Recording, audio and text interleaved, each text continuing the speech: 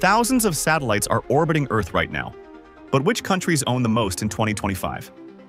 Stick around, and don't forget to like and subscribe for more space facts. Number 5. Japan. Around 205 satellites powering communication, navigation, and research. Number 4. United Kingdom. About 763 satellites, many for commercial and telecom services. Number 3. China. 906 satellites, a mix of military, scientific, and space station support.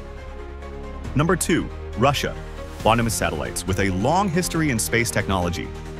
Number 1. United States. A staggering 8,130 satellites.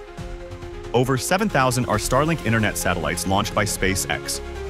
Globally, there are over 11,700 active satellites, and the number keeps growing every month.